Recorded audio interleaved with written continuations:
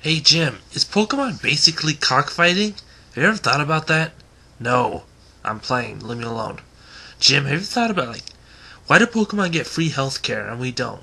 Like they never have to pay when they get hurt. Why do we do?